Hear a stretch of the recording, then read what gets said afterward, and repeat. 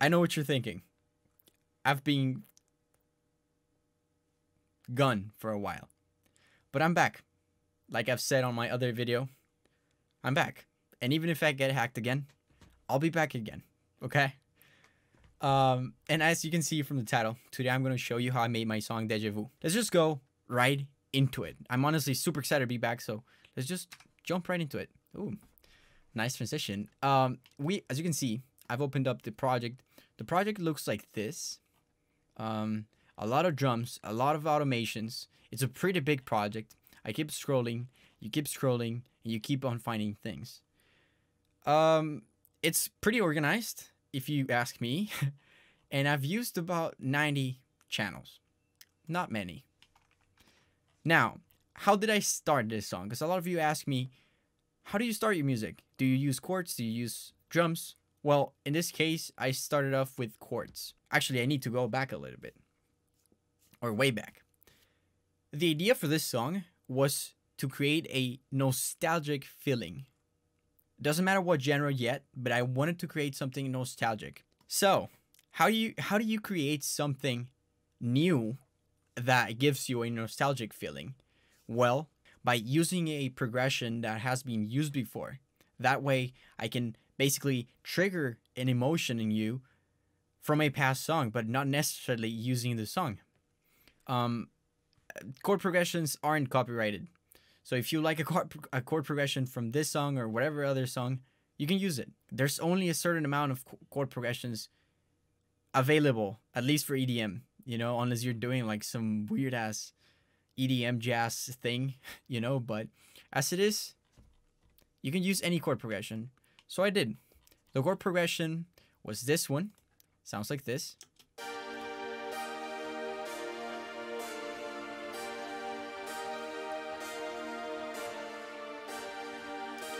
This is a very famous chord progression. It's basically a I'm to open it up. It's basically a D, I mean a G and then D sharp, and then A sharp, and then you go to D. So it creates a very nostalgic feeling. In this case, the chords are a little bit more complex.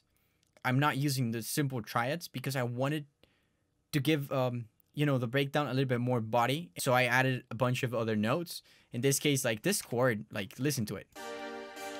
And then you listen to this one. They're not the basic chord as I've said. I can make it basic just by doing this, for example. And now it's only three, and it sounds like this. But if you add more stuff, it, it, it gets fuller, you know? If you actually see it on a on a EQ or something like that, you'll see that it has way more frequencies. And that's what I wanted to do. Um, I'm using a Spire for this sound. I'm actually using two. One of them looks like this, and it sounds like this. It's a Eurosynth. I wanted to make a Euro dance song with a futuristic twist, and that's what I ended up doing. So I used both sounds from the past and sounds from the future, right? Then I've got this other sound to layer it up. That sounds like this. They're pretty similar, but if you put them together, they help each other out. So, so far so good. I had the feeling that I wanted, right? But I wanted to create a, a more uplifting feeling to it, not just a nostalgic feeling, but a uplifting feeling. So how do you mix those together? I think what I did was make the first part of the breakdown an octave lower than the second part of the other of the breakdown. So let's listen to this. It's usually one octave lower. You'll see.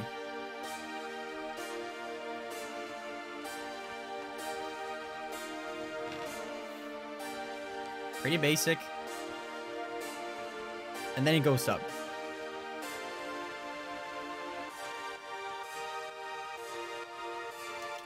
So, uh, I mean, obviously, when you listen to it alone, it's kind of boring. But when you add this up in the whole idea of the song, it just makes it so good. So, what else do I have? I actually added a uh, bass line, which again, I wanted to sound nostalgic. So I opened up a very, very famous sound from the 90s. So the Korg M1. And this one, obviously, you heard it before a million times, sounds like this.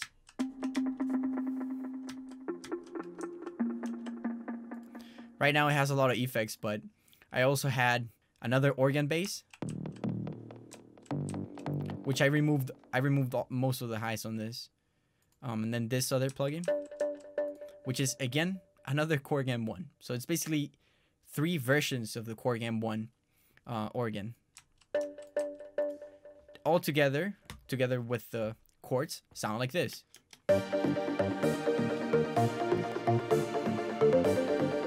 And what, what this bass line is doing is just helping out the chords. It's it's helping out the chords have a little bit more direction. Because if you hear them as they are, they're basically plain notes. Even if you look at them, they're just like note same notes over and over again almost. There's a small change between them, but with the bass line, you basically guide the listener so there's more sense to it. The first part of the breakdown though, it's it's supposed to be like preparing you for something, you know, preparing you for what I've said before, which is the uplifting part. And again, in order to make something uplifting, you go up. As you can see on the second part of the breakdown, I've made the bass line faster, way faster. So it from sounding like this with a lot of delay, it ended up sounding like this.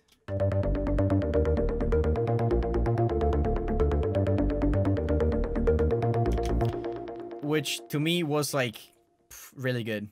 Um, also notice that it has sidechain because I, after doing this, I added a kick.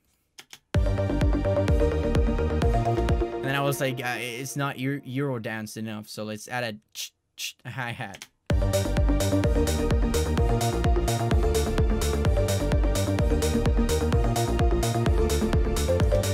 Um, besides that, I added a lot, a lot more drums. I added some hi-hats, another bass drum, but only to give some more highs and more dirtiness to it. And then I added another hi-hat. This one's like extremely 90s. So I just added it, but it's also filtered. Yeah, besides the bass line and the chords in the chords, I've added a lead, which kind of sounds like a super saw. It sounds like this.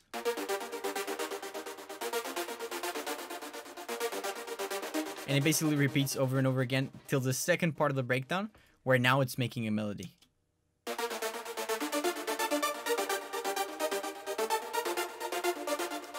This is actually an arpeggiated synth. If you look at it, I've, I have, I've added an arp to a lead. Obviously, I'm just using the first part of it. Um, and it's basically just a melody that I've ended up... Normally, whenever I use a, an arpeggiator, I use it either on a chord progression or, or just a single note. But in this case, I made a melody. I made a melody using a, an arp, which is kind of weird. I've never done that before, but it worked. So if you actually combine the bass line and the lead, sounds like this.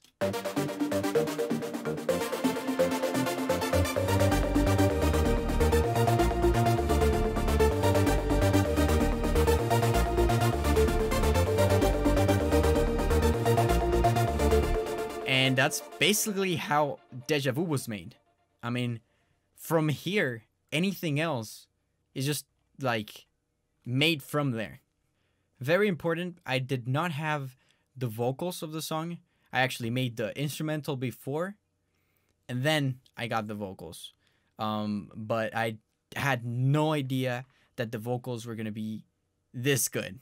But I knew that I wanted something that was like next level. So Actually, before we go into the vocals, what happened to the drop? How did you make the drop, Jay? Well, here's how. As you've as I've told you before, I created a chord progression on the break, and I wanted to keep that chord progression for the whole song. So what I did was recreate the progression of the chords on the bass. This is how the bass sounds.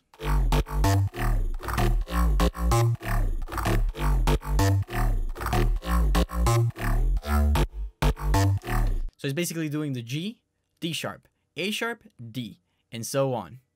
So for the bass line, I'm only using two layers. surprisingly. I normally use like 20, but in this case, I only use two, uh, which is a sub and a bass. Easy. The sub is actually a sub that I made for my sound bank, Sylenth One sound bank. It's called Sub Escargot, as a snail, but Escar, you know? Um, it's honestly really good. I use it for everything. If you want to go get it, it's on my site, store at jayeskar.com. You can find all of my sample packs and stuff there. It's really, really good, honestly. Um, not just for the sub, but for everything else. And for the bass, I basically made, because you guys know, the most famous or like the the most trending genre at the moment is Brazilian or like slap house. So I wanted to create a bass line that sounded like slap house, but it wasn't slap house. Um, so I made a pretty long slap house bass, and it sounds like this. Pretty good. Again, if you listen to it to this together, it sounds like this. I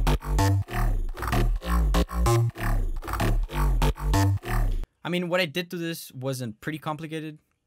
Um, all I did was basically add the sub, made it mono, uh, add a camel crusher. Then for the bass line, I basically added uh, a little bit of bit crusher to add some high frequencies. Then I added an Oxford inflator to make it like loud and good. This is basically like a clean OTT, which I love. And then I've added a Magic Stereo Pro, or not Pro, but just Magic Stereo, which makes it wider. Um, in this case, I'm just using a bass preset, and that's pretty much it. Um, I got rid of the lows, and as always, the Apex secret, which is basically an EQ with some resonance on it. And that's how you create the bass line. If you actually listen to the bass, this is how it sounds. If I remove all of the effects, sounds like this.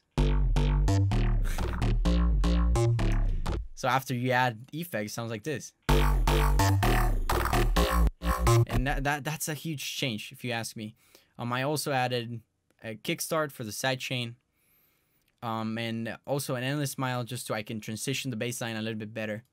Okay, so now for the leads, which is almost the last thing in the song. Um, I've created a sound that sounds like this.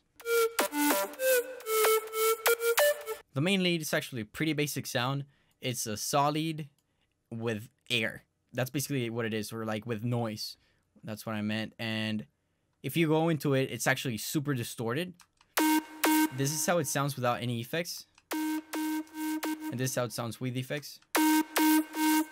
It definitely sounds distorted. It actually has a distortion inside of um, Sylenth thing. If actually, if I removed it, this is how it sounds. It sounds horrible, but if you add a lot of clip distortion, like when I say a lot, I mean full clip distortion. Sounds like this. So from this to this, distortion is everything, okay? Um, but I also added more distortion with Saturn 2. All I did was use a warm tape and put the band drive to about 20%, as you can see there. I've also added a chorus, but only at like 20% again, actually 32. Then I've added a dimension expander. I didn't want to use Magic Stereo on this one because I wanted a little bit more control, this is basically what I used, just a free plugin from Xfer. and then I used a inflator again to make it sound loud and clear and really good. And just EQ, get rid of the lows, add a little bit some high mids, and that's pretty much for the same for the main sound. I thought it wasn't enough, so I ended up adding one, two, three, four, five more sounds. one of them sounds like this, then another one, then another one. Actually, all the layers without the main sound sound like this. So if you actually pay attention to this, this is basically a bright chorus or unison clone of the main sound. it's basically the same sound, but wider and also with a lot more voices. That's basically what I did. I made it in a very complicated way, but I've added a bunch of presets. You put them together and it sounds like this. Very good. One of the layers was actually this lead. Then another one was this one. And these are actually part of my sound bank uh, lead day or night and lead and lead day or night three. They're both part of my Sylenth One sound bank. If you want to go check it out, link in bio. um, it's pretty good. honestly, so yeah, after making the lead and the bass, you pretty much got everything for the song. Um, except you need to pay attention to the drums. Very important. This is how the kick sounds like. Super cool kick. Then a clap. Then another clap. Then I've got a uh, drop clap in the background just to help out the, the punchiness of the kick and also like the, the energy of the whole song.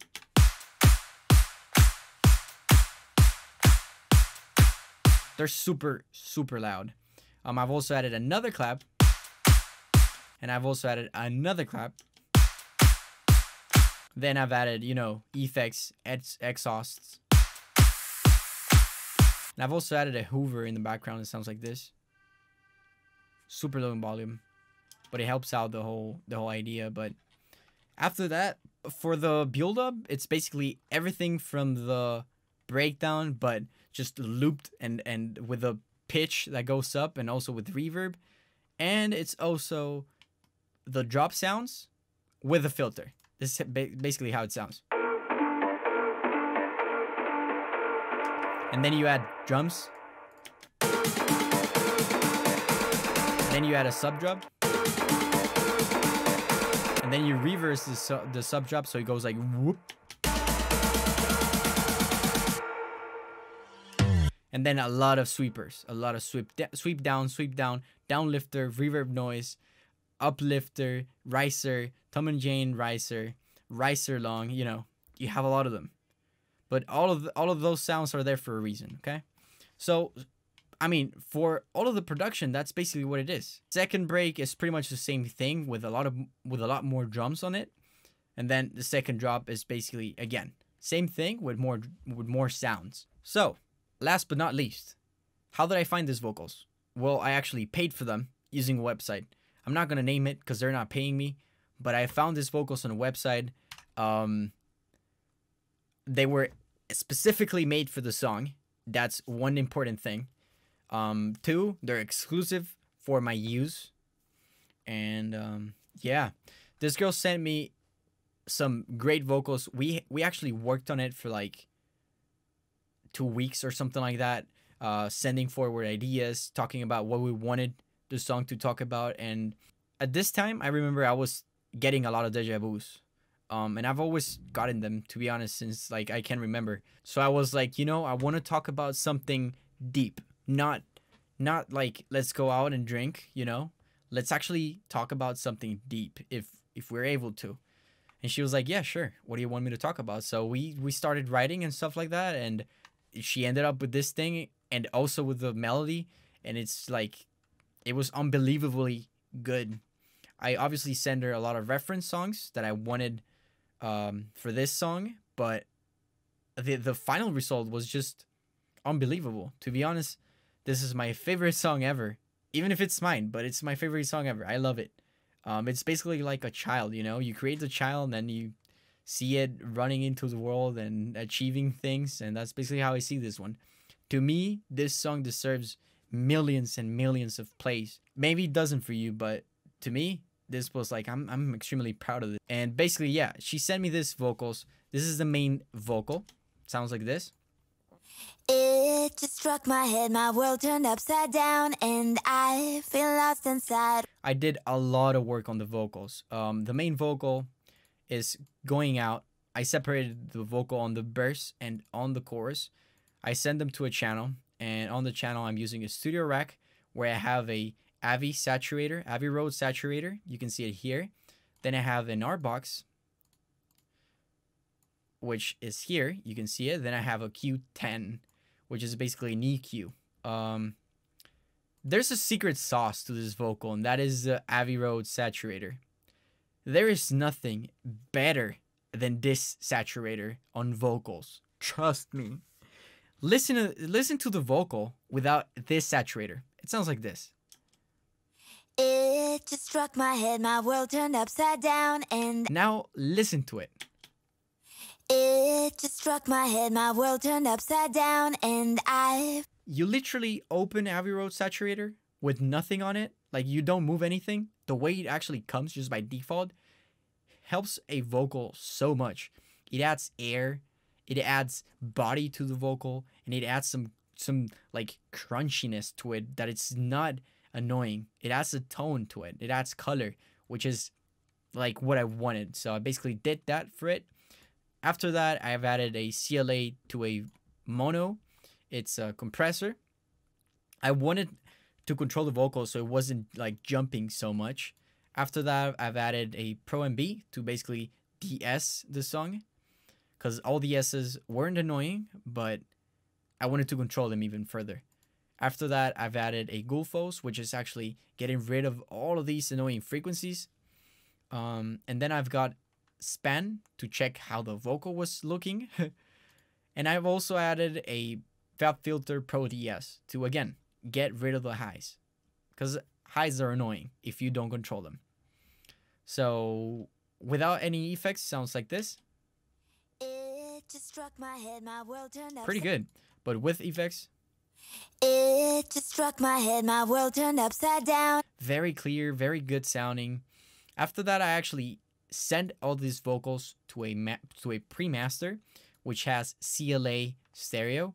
You don't really have to do anything. You can just choose a type of sounding um, preset, and it just adds up to it. It's super subtle, but it's it's noticeable at least to me. Um, they sent me a lead delay and a lead reverb separately, so I separated them. I send them to their own channel. You can see them here. This is the this is the delay and this is the reverb. All I did to this, all I did to this was add a parametric EQ, and it sounds like this. It just struck my head, my world turned upside down, and I feel lost inside. Wish that I could. Pretty basic. Um, after this, we go into the chorus where we have some dubs. This is one of them. Tell me, am I dreaming? Never felt this feeling. Um, I did a pre pre master for this as well. All I did was add a compressor to control it, and then a de-esser to remove all of that, all of that, tss, you know, which is very very annoying actually. Uh, she also sent me two falsettos. One of them sounds like this. Tell me, am I dreaming? Never felt this. Another falsetto, Tell me, am I a little bit wider, and then she has a she sent me a background reverb sound. It sounds like this. It really really adds up. When you play this together, it sounds like this. Tell me, am I dreaming? Never felt this feeling. Then you play the reverb, Tell me, am I? then you play the delay, and then you play the main lead, and it sounds best thing ever. Listen to this. Tell me, am I dreaming? Never felt this feeling. Don't know what I'm searching for. So if you listen to this together, it sounds like this. My computer might might lag a little bit because I'm recording, and I'm trying to record in high quality. So No, I can't run away. Tell me, am I dreaming? Never felt this feeling. Don't know what I'm searching for. and it's honestly like so good, you know. Um, for the second part of the song, I mean for the job actually, she sent me a a part where she just sings the thing, and it sounds like this. Dum dum da deja vu. Dum dum da deja vu. Dum dum da deja vu. Dum dum da deja. It's it's the most catchiest thing ever, so I had to add it to the job. And it sounds like this. Dum dum da deja vu. Dum dum da